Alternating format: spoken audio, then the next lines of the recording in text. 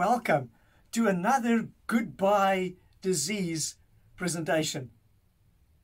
We've looked at goodbye hypertension, goodbye heart disease, goodbye diabetes, goodbye obesity, and with this session, we're going to look at depression. How to say goodbye to depression. So I want us to just get into this it's a very relevant topic, especially for the times we live in. Many people are struggling with this, and we need to answer the questions. So many have that hopeless feeling called depression. Worldwide, depressive disorders afflict millions of people of every age and race and religion and education. More people are suffering from depression now than in previous generations. In a desperate attempt to cope, billions of antidepressant drugs and tranquilizers are gulped down each year, yet the problem only continues to grow and to grow. The issues constantly become bigger and bigger. The World Health Organization reported in 2001 that by the year 2020, this is this year. Depression would likely be the second leading cause of disease and the, and the, and the disease burden of, this, of, of the world. So this is a sobering thought to realize that it's exactly what is happening right now in 2020. The condition of the mind affects the health to far a greater de degree than many would realize. Many of the diseases afflicting humanity are the result of mental depression. Negative emotions such as grief and anxiety and discontent, sorrow, guilt, insecurity, rejection, financial strain, and yes, pandemics, to name but a few, all tend to break down the life forces and invite physical disease and death. Did you know that heart attacks are much more common among depressed men? Science now have also found that depression can cause the bones of even young women to lose dangerous amounts of calcium.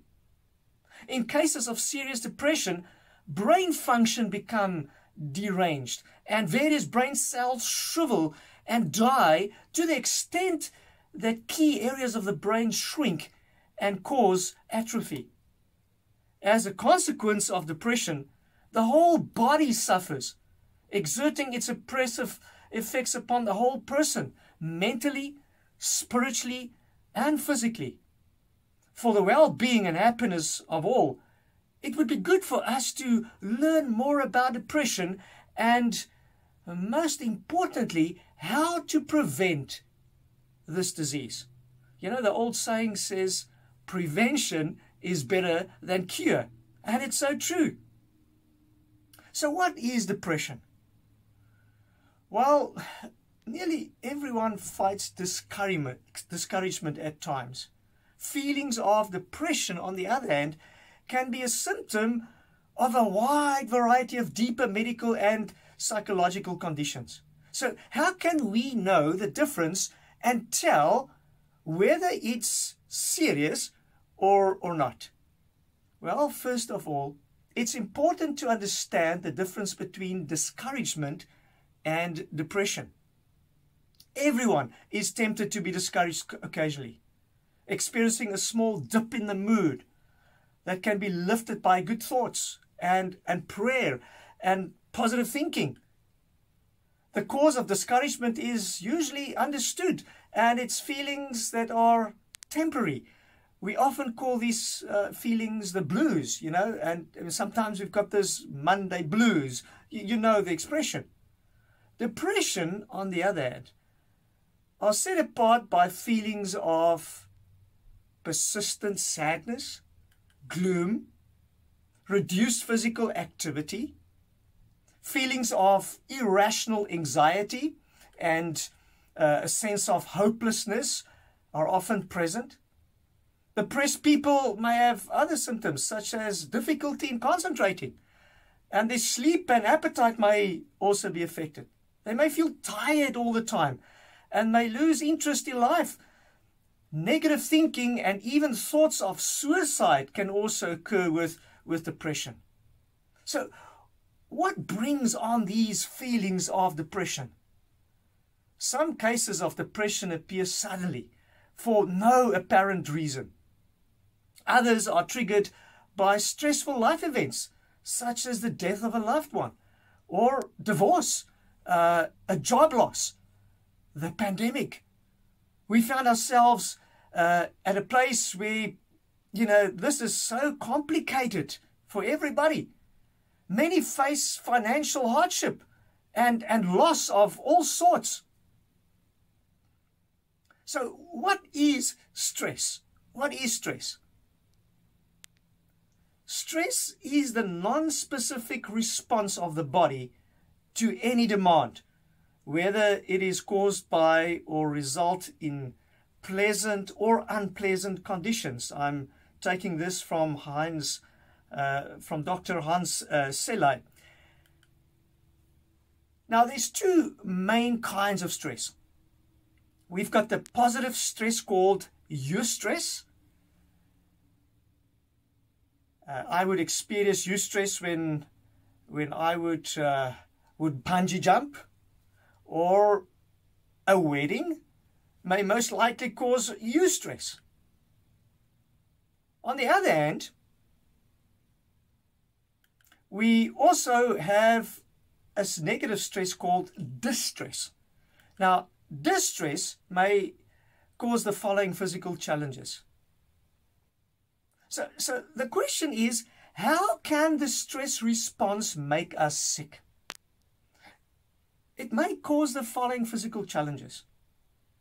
Chronically elevated blood pressure, constantly using stored energy, so it means, you know, we're going to tire more easily, and then blocked insulin secretion, and that causes high risk of diabetes. So what happens during this chronic stress um, uh, episode? High amounts of cortisol is released, and this puts strain on the liver that causes increased uh, glyconeogenesis and uh, increased blood glucose. Chronic stress will also promote uh, promote lipolysis, and uh, uh, especially in our extremities, and so when we have this prolonged negative stress and its effects, it increases heart rate. It increases our blood pressure. It increases our concentration of fat in the blood. It increases blood sugar. It increases cholesterol in, in the blood. And it increases blood clotting. It increases the uh, deposition of fat and cholesterol in the arteries. Chronic stress has a direct effect on, on hypertension. Negative stress causes the body to release uh, thyroxine, uh, aldosterone, and exotocins, which all enable the body to constrict our blood vessels and retain fluids, resulting in much greater blood volume. This added pressure over time can cause severe damage to fragile arteries. Chronic stress has also got a direct effect on diabetes we find more glucose and fatty acids in the bloodstream. They gum up in the wrong places. And so the glycocorticoids make uh, fat also uh, cells more insulin resistant. And these fat cells release another hormone that promote insulin resistance in other tissues like the, the muscle and the, and the liver. And during these stressful times, the body releases more serum cholesterol in order to provide more energy for the body. And when it begins to respond to a physical stressor. However, if there is no physical reaction to the stressor, the released fats, the triglycerides, are not used, and in turn, they remain in the bloodstream uh, looking for a place to deposit, and they normally go and, uh, and, and, and, and dump in the heart and in the brain. We also find that chronic stress has a direct effect on our immunology. Stress can decrease our white blood cell count, which will lead to poor health. The immunological system includes the following white blood cell groups, which identify and destroy foreign substances. We're talking about our uh, phagocytes, that, that's the destroyers, and our lymphocytes, and our T cells, and our B cells. We also find that genes can be can be turned on or off by uh, the effect of these stresses. So stress can be implicated for, for turning these genes on or off.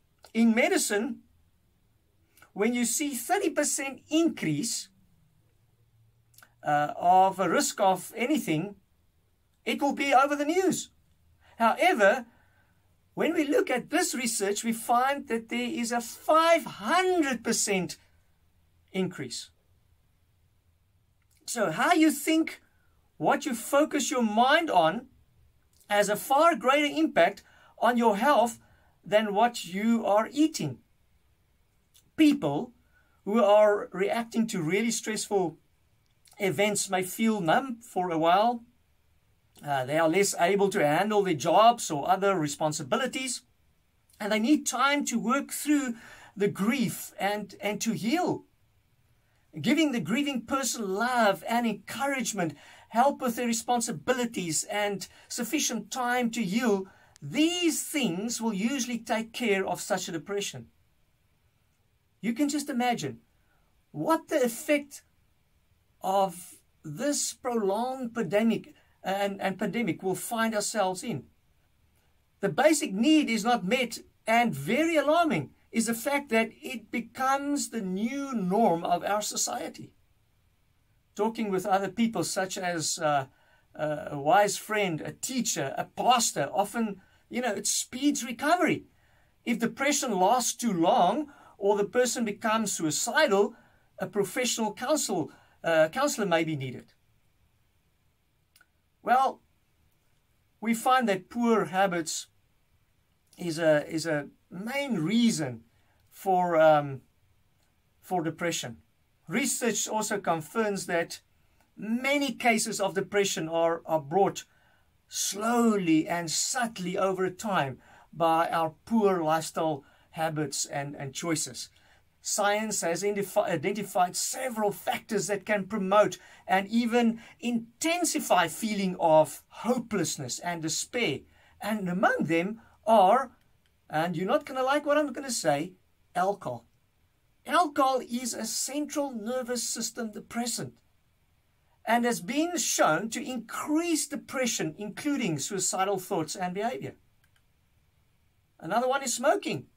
And I know you don't like what I'm saying, but research suggests that smoking may play an equal, if not even more dangerous role than consuming alcohol in the development of depression. Smokers are three times more likely to experience major depression. And then there's the social drug called caffeine. And I know that you really don't like me now. After uh, assessing about 143,000 people Scandinavian researchers found a significant increase in depression among women who were heavy coffee drinkers. In addition, these same women also had more problems coping with stress. Physical activity is another one. A major study of 8,000 adults revealed that the less active persons are, the more depressed they were likely to be. Improper diet is another culprit. Sugary sweets, heavy rich fatty meals can contribute to blood sugar imbalances and feelings of depression. And then there's city living, stressful living, uh, living circumstances, overcrowding, excess noise, pollution can all contribute to anxiety and depression. And and some of us in the cities, we are we are really tied down by these circumstances. And then there's food allergies. For some people, food allergies can play a major role in depression. These may need to be identified. You know, what things uh, are you are you reacting against? And then there's medications. Some high blood pressure medications, as well as other types of medicine, can bring about depression. You need to consult with your doctor about this possibility uh, when you are struggling with uh, with this uh, lifestyle disease. So let's talk about overcoming depression. You know, what can be done to overcome depression? What can we do? Well, medication for depression can sometimes provide temporary relief of symptoms.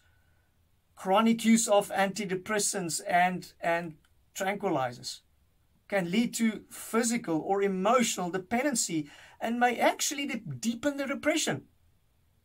I believe there's something better than just swallowing a pill because I'm not feeling so well. Nearly all types of depression respond to basic common sense measures. For example,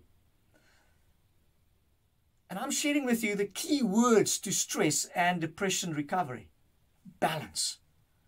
Sometimes depression is caused by imbalanced life. We need balance in our life. We need to balance work and and family and and worship and yes, even our our social life. A second thing that we need to look at is purposeful tasks. All of us need to do some kind of productive work, whether it's uh, heading a corporation, washing a car, cooking a meal, uh, planting in the garden. A depressed person especially needs the feeling of accomplishment. You know, uh, completion and satisfaction found in doing something useful each day. Without something to get out of the bed for, something to do, even the most stable person would likely become depressed. We also need structure and regularity. Whether depressed or not, we all need structure in our lives to keep mentally healthy. Observing regular hours of eating, sleeping, and working can go a long way to promote mental and physical health. And then a healthful diet. Eating a simple diet of fresh, natural foods gives increased mental and physical and energy and can be helping in balancing this chemistry of our brain.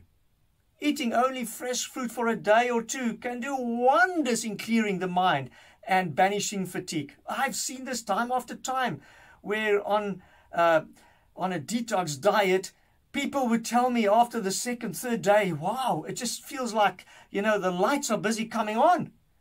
And it's, it's, it's most amazing to just watch these people. Adequate rest is very important. Periods of quietness and calm are especially important in today's fast paced, pressured life. We need a time to just sit and reflect. And you know, with our with our race in life, we, we never get to that point. Another one is sleep deprivation. And uh, I need to tell you that sleep deprivation can set off or uh, intensify depression. Most people feel that the best would be to have about seven to eight hours of sleep per night. Then we need to get daily exercise. Experts agree that regular exercise may be one of the most powerful natural antidepressant available. Aerobic activities such as brisk walking or swimming or cycling stimulate the release of mood elevating, pain relieving natural chemicals called endorphins. Increased exercise reduces anxiety, depression, and life dissatisfactions. Then what's very important is, is regular sunshine. It was, uh, it is what Solomon has said. Guys, the reality is we go to work when it's dark and we come back from work when it's dark. We never get into the sun. Solomon says, Truly, the light is sweet, and it, it's pleasant for the eyes to behold the sun. Ecclesiastes 11, verse 7. So, daily sun exposure has been used successfully for many years in the treatment of various types of depression. And then we need productive hobbies. This is so important. You know, we, we have a creative part. Each one of us have a creative part in us that needs to be um, explored. And, you know, might it be painting? Might it be building um, uh, puzzles? Might it be planting uh, succulents?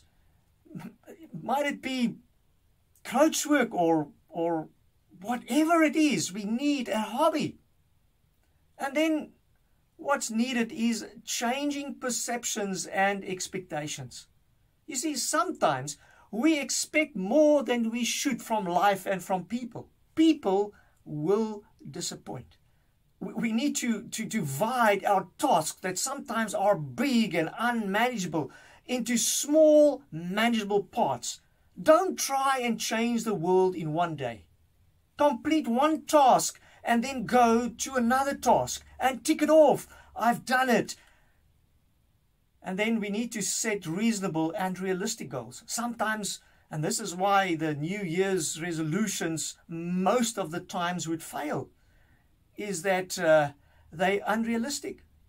So we need to set ourselves reasonable, realistic goals. And uh, this is to be implemented daily and those goals weekly and those goals monthly and those goals yearly. We need to set ourselves those goals. And then another one that's very um, common is that we need to avoid procrastination. Take on a little bit every day, but just keep it at it. Keep at it. Don't lose heart. Just go and do that little bit again and just go and do. The moment you leave it, you start procrastinating and the mountain becomes bigger and bigger and bigger. I need to also tell you that I have found that you have to set boundaries. Don't live under the expectations of others. Many times we get abused by others trying to live our lives for us. Set boundaries in your relationships, with your work commitments, and any other expectations that may come your way. It is not wrong to say no when you cannot manage something. Set boundaries. It will protect you at the end of the day. And then don't compromise your values or your beliefs. This is so important. You see, over years of counseling with people, I found a great stress factor is trying to compromise values and beliefs, trying to adjust so that you would make others happy in what you believe and what your values are. And I want to tell you, it just causes a lot of pain and a lot of stress. Avoid that if you can. And then you need to schedule regular me time. This is the time where you do what you need to do rather than do what others expect from you. You need me time. It should be diarized. There should be a little time slot where you can spend time doing what you love doing. And then a very important one, I've seen the effect of this so many times, is that we need to learn how to forgive others and forgive ourselves. That's a major stressor when we have the inability to forgive others for where they have wronged us. More importantly, it is to get to the point where one can forgive self. This is a major problem. We, we tend to be very hard on ourselves. The reality is, we do make mistakes and even cause hurt, and we harm others by our actions. But when we've asked for forgiveness, we have to forgive ourselves for those actions. And then, in my experience, the most important of this is to trust in God. Now, I don't want you to get the wrong idea, me saying that, you know, depression is because you're not trusting in God. This is just one of those very important factors. Bearing heavy burdens alone is, is enough to crush one's spirit. The Bible encourages us to cast our anxieties on Jesus, for he cares about you and he will sustain you. Well, that is what he says in 1 Peter 5, verse 7. So we need to, to cultivate an attitude of gratitude. Very important. Uh, the, the, the attitude of gratitude. Educate yourself to express thanks and praising God for the many blessings He has given you. Learn to talk hope and faith. It can have a, a most positive impact on your life. You see, depression can be disheartening, but it doesn't have to be permanently disabling. By improving physical health, choosing positive mental attitude towards life, pursuing worthwhile activities, and developing spiritual goals and values, most people will enable will be able to, to overcome their feelings of, of depression and life rewarding, productive lives. In the scripture, we find an interesting question and uh, an invitation. It says, Why are you in despair, O my soul? And why are you disturbed with me? Hope in God, for I shall again praise him, the help of my countenance and my God. Psalms 43, verse 5. Why are you in despair, O my soul? I want to pray that God would bless each of us as we claim this promise and we apply the principles of this talk and place our hope in God who never loses a battle. Please help us to get these messages of hope to more people by subscribing. So, below this YouTube video, there is a little button that you just need to press, and you would see subscribe would highlight. And press it as soon as you've closed this uh, this presentation. And then please like it. Please share it if it was helpful to you. I want to ask that you would stay blessed, that you would stay safe. Please make contact with me um, on my WhatsApp number at 082 572 1294 if you would need me for any uh, assistance. And uh, you could contact me at arnold at brainpowerseminars.com. You keep well, keep safe, and be blessed. Amen.